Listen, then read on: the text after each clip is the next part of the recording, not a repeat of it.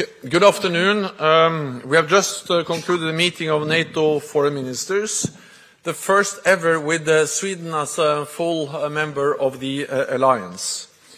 Together we addressed um, preparations for the Washington summit in July, starting with Ukraine. This is a critical moment. The people of Ukraine continue to defend their country with skill and bravery. The Ukrainians have shown time and time again that they are capable. Ukraine has recaptured half of the territory that Russia initially seized. In the Black Sea, Ukraine has pushed back the Russian fleet, enabling the continued export of grain to world markets. The Ukrainians are not running out of courage, they are running out of ammunition. We need to step up now to ensure our support is built to last. So, in our meeting today, we discussed how to put our support on a firmer and more enduring basis for the future. All allies agree on the need to support Ukraine in this critical moment. There is a unity of purpose. Today, Allies have agreed to move forward with planning for a greater NATO role in coordinating security assistance and training. The details will take shape in the weeks to come. But make no mistake, Ukraine can rely on NATO support now and for a long haul. Tomorrow we'll meet with Minister Kuleba in the NATO-Ukraine Council. Together, we will discuss Ukraine's current and longer-term needs. Today, ministers also addressed security challenges in our southern neighborhood, including the enduring threat of terrorism. Last October, I appointed an independent group of experts to review NATO's approach to our southern neighbors. Ministers have discussed the group's find findings and heads of state and government will consider concrete proposals at the summit in Washington. Tomorrow, I will chair a meeting of foreign ministers with our Indo-Pacific partners, Japan, the Republic of Korea, Australia and New Zealand, together with the European Union. We will discuss how to enhance our practical cooperation as well as the global implications of the war against Ukraine. Russia is receiving support for its war of aggression from China, North Korea and Iran. As authoritarian powers increasingly line, it is important that like-minded nations around the world stand together to defend a global order ruled by law, not by force. Tomorrow marks NATO's 75th anniversary. As we face a more dangerous world, the bond between Europe and North America has never been more important. As we prepare for an historic summit in Washington, NATO will continue to support Ukraine, will continue to strengthen our alliance, and will continue to work with our partners across the globe for peace and security. With that, I'm ready to take your questions. Uh, we'll start with Radio Free Europe, please.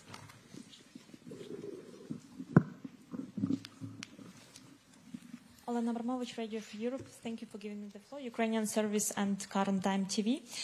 I have a question regarding this proposal of long-term support for Ukraine, um, especially this uh, $100 billion for five years.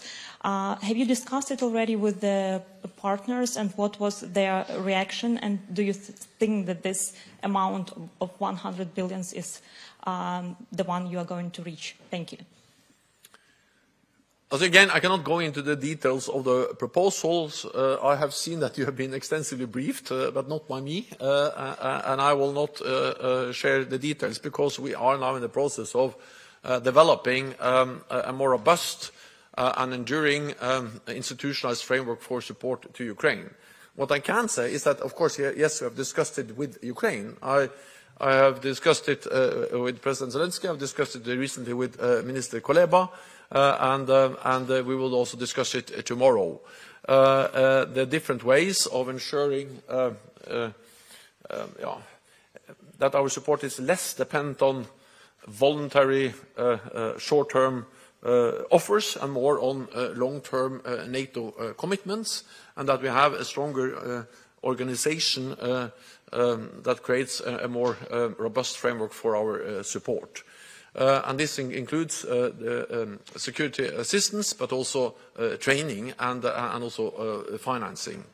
Um, so yes, we are in dialogue with, with Ukraine on this because this is actually something that we should do to get together. It matters for Ukraine's security, it matters for our security. Um, uh, uh, economic support uh, to Ukraine is not charity, it's, it's an investment in our own security. Um, and, um, and then uh, to, today we didn't take any final decisions exactly on what format we will establish, uh, but we agreed to initiate planning. And that's the way we do things in NATO. We, we ask our military authorities to provide the plans, uh, uh, uh, the details, and then we uh, will take the final decisions made uh, uh, based on those uh, uh, proposals and plans that the military authorities will now start to develop for, uh, for us. Thank you. Over to the BBC, Jonathan Beale. Uh, thank you very much, Secretary General. Um, I know your focus has been on Ukraine, but I, I do want to ask you about the Middle East. Um, I know David Cameron, Lord Cameron, wanted to raise what's happened in Gaza. I mean, can you give us your reaction to the to the the killing of a number of aid workers in what appears to be an Israeli airstrike, the humanitarian crisis that exists there, and are you worried that a NATO member seems willing and able to provide ammunition and weapons to Israel, but seems unable to do the same for Ukraine. Do you think America has its priorities right? Thank you. So what we see now in Gaza is a humanitarian catastrophe. We see uh, suffering, we see uh, uh, uh that civilians are uh, killed, uh, and we also uh, saw the strike against aid workers, and I condemn the strike. I also welcome the fact that Israel has made clear that they will investigate what happened. Um, it demonstrates uh, that uh, uh, the war which is now going on has very serious consequences for innocent people. Um, the people living in Gaza, but also uh, aid workers. And therefore, welcome the efforts by um, the United Kingdom, and by uh, the United States, and by uh, many other allies uh, to facilitate uh, um, some kind of uh, ceasefire and a political solution to this conflict. NATO as an alliance does not play a, a direct role, but welcome the efforts of NATO allies. Um, every day of delay in, uh, uh, in a decision in the United States uh, on providing more support to Ukraine has consequences on the battlefield. That's one of the reasons why the Ukrainians now have to ration uh, ammunition and why they are struggling to keep up with the Russians who are now able to outgun them uh, with uh, more weapons and more ammunition than the Ukrainians have. Uh, so we have a responsibility as NATO allies to, to take the decisions and to ensure that Ukrainians get the ammunition uh, they must have to be able to continue to uh, push back the uh, Russian invaders. So, so it is urgent that the United States make a decision um, and that the US Congress actually is able to turn the majority in the US public but also in the US Congress, into a concrete decision. Because every time I meet representatives from the US Congress, I met many of them over the last weeks, they assure me that there is a majority in the US, and also in the US Congress, for support. But so far they haven't been able to turn that majority into a decision, and that's, that's exactly what we all now are waiting for, and it is urgent. Thank you. Uh, Thomas from FAZ. Thanks a lot. Uh, Thomas Gutschker, Frankfurter Allgemeine Zeitung. Secretary General, on the ammunition question, um, we've heard from the Czech foreign minister today that they still lack funding for their initiative to provide Ukraine on a short-term basis with 155 artillery ammunition. Have there been any signals today in the room that allies are willing to step up their short-term commitments, or have there been concrete commitments towards that? And a second question, President Zelensky last week has warned that if they don't get US support they might have to retreat. How big do you assess the risk of a Russian breakthrough in the next months? Thank you. support from uh, NATO allies and support from the United States to Ukraine is something which benefits our own security interests. It is therefore in the security interest of the United States uh, to make a decision and provide Ukraine with ammunition. Because by allocating a fraction of our defense budgets, we have enabled the Ukrainians to destroy significant parts of the Russian uh, combat capability without putting any NATO soldier or any US soldiers, uh, soldier in harm's way. So this is really something that is in our interest uh, to continue to do. And not, not only continue to do, but uh, to do uh, more, to step up, and to ensure that we do it in a predictable, robust uh, way for the long haul. That's exactly also why uh, we are now discussing how can we establish a more robust and institutional NATO framework around this support to make it more predictable, more long-term, and also to ensure uh, fair burden sharing. Um, uh, but while we are, of course, uh, discussing this at NATO, uh, and I expect a decision by the uh, summit, uh, I welcome the fact that we have now agreed to start planning. of course, we need also immediate support. And, um, and therefore, um, I urge allies to, to continue and to step up to make national contributions. Um, uh, and um, recently we have had the German uh, announcement of 576 million euros to support the Czech initiative for more ammunition. Sweden, our newest ally, um, have just announced uh, 800 uh, no support to to deliver 800 no to, to, actually to, to support the Czech initiative to to deliver 800,000 uh, extra artillery shells and also other allies have announced uh, more support for the Czech initiative. So uh, there, are, there are constant new announcements by different NATO allies. Thank you. Over to Irina Interfax. Okay,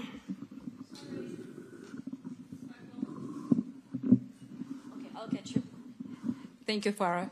Uh, Secretary General, News Agency Interfax Ukraine, Irina Somer, talking about expectation from upcoming summit in Washington. Ukrainian side speaks about some kind of invitation, like um, in the case of the European Union, where, where Ukraine is candidate country but not member yet. Is it possible in the case of NATO? Can actually NATO invite Ukraine and then over the time when all criteria will be met, Ukraine will be a member of NATO? Thank you. All allies agree that Ukraine will become a member. All allies agree uh, that uh, uh, we need to continue to uh, uh, move uh, Ukraine closer to NATO membership. We made important decisions last year. We are implementing those now with the removal of the membership action plan. We should not introduce something that is similar to a kind of second uh, or two-step process. We, uh, I think it's very important to, to maintain the one-step process for uh, Ukraine to become a member, removing the, the, requirement for membership action plan, and then ensuring that uh, when an invitation is, is, issued, then that's the same as becoming a member as it is in NATO. That's the difference between NATO and the European Union. In the European Union, of course, when you are invited, invited it can take years uh, from an invitation to membership. Uh, while in NATO, when you are invited, it's, it's something that happens very soon after. Um, so uh, so uh, we should just avoid creating also, again, a kind of two-step process towards uh, uh, membership. But regardless of the technicalities, there is a clear commitment uh, for Ukraine to become a, a, member. There's a clear commitment to help to move Ukraine closer to membership. And I think we also need to realize that when this war ends, uh, everyone realizes that there has to be some kind of guarantees uh, that um, this is really the end, uh, that it's not only a pause uh, where uh, Russia uh, reconstitutes its forces, rest and then regroup and then attack again.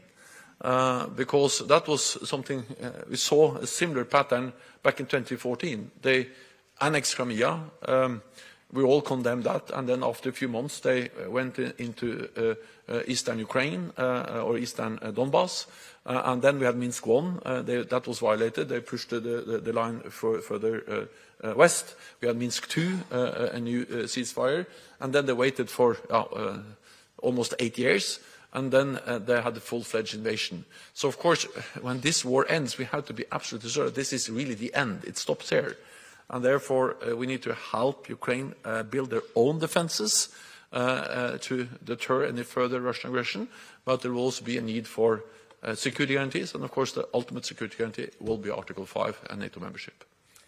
Thank you. We'll give a final question to Radio Cordon, Vladislav. Thank you.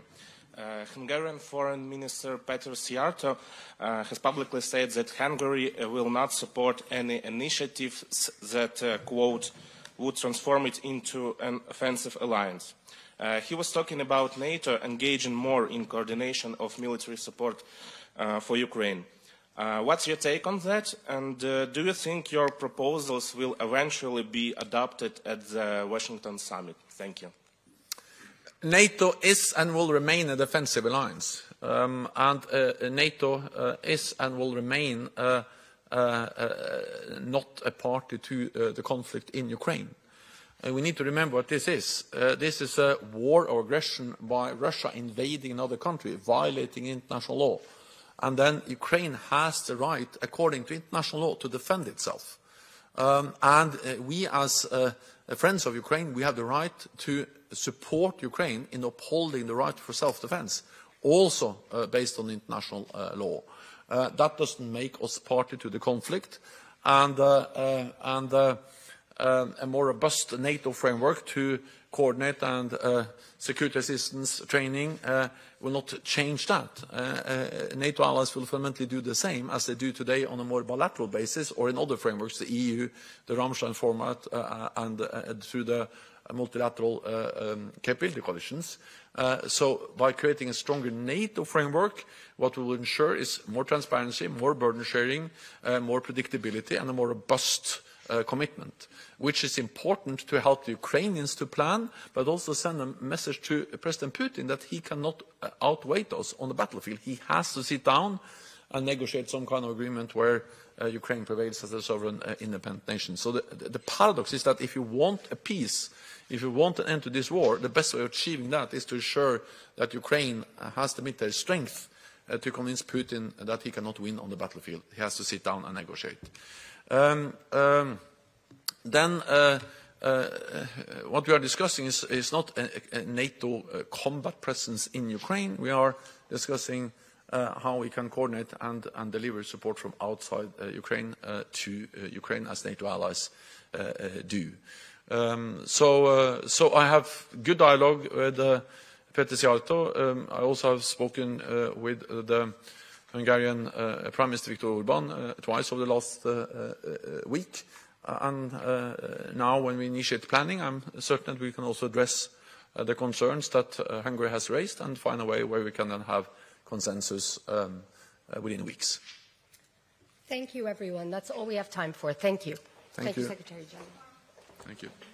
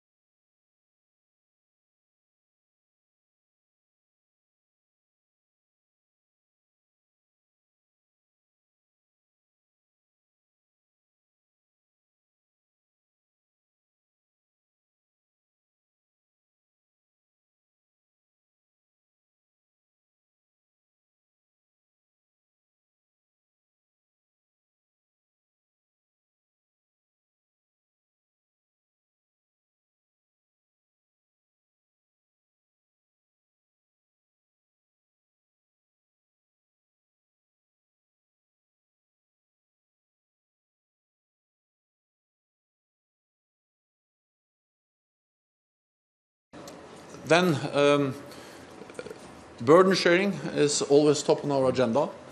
Um, when NATO made the pledge to invest 2% of GDP uh, on defense uh, back in 2014, only three allies uh, met that uh, target. Uh, today, uh, two thirds of NATO allies are spending 2% of GDP on defense. That's a, a significant progress, but of course, we want more allies. We want all allies to be at 2%, and 2% is a minimum. So, this is a message that uh, I and we all convey very strongly uh, as we prepare for the upcoming Washington summit.